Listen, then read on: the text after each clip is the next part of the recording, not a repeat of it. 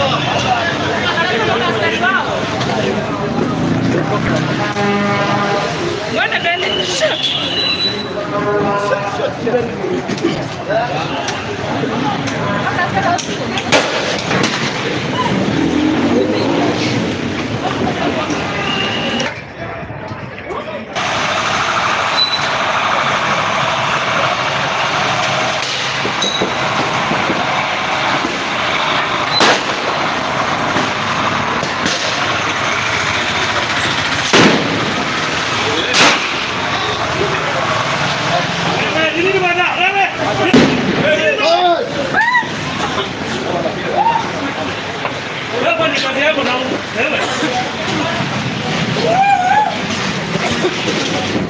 Tambua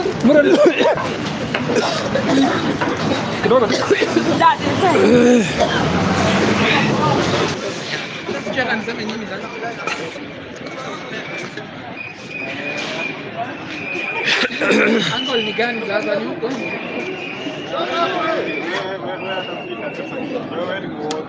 Ah,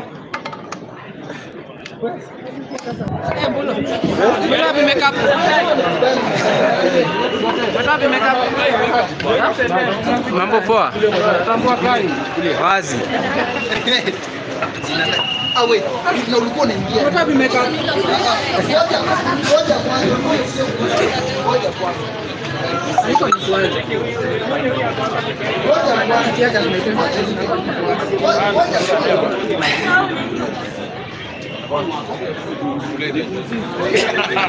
This is Nakuru CBD.